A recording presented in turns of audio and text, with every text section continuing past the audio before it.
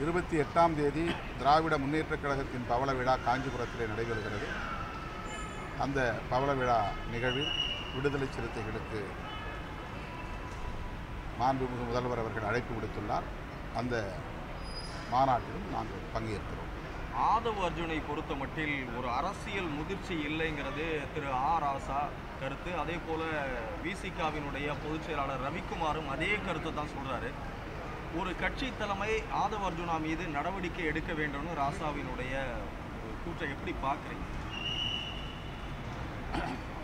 திராவிட முன்னேற்றக் கழகத்திற்கும் விடுதலை சிறுத்தைகள் கட்சிக்கும் இடையில் கூட்டணி தொடர்பாக எந்த சிக்கலும் எழவில்லை எழாது.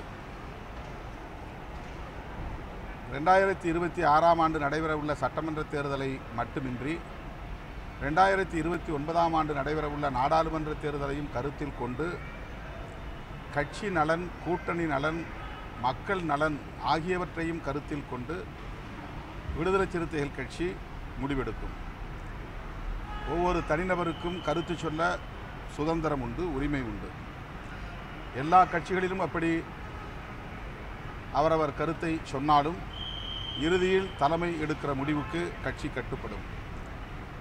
ஆதவ் அர்ஜுன் அவர்கள் கூட கூட்டணி தொடர்பாக தலைமைதான் முடிவெடுக்கும். அதில் நான் தலையிட மாட்டேன் என்று சொல்லியிருக்கிறார்.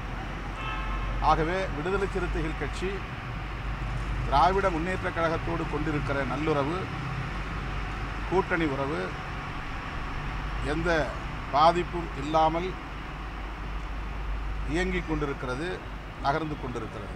அதில் எந்த நெருடலும் இல்லை. கட்சி மற்றும் கூட்டணி ஆகியவற்றுக்கு எந்த சேதமும் ஏற்படாமல் முடிவெடுக்க வேண்டிய பொறுப்பு தலைமை என்கிற முறையில் எனக்கு உள்ளது. எனவே முன்னணி தோழர்களோடு கலந்து பேசி முடிவை எடுப்போம்.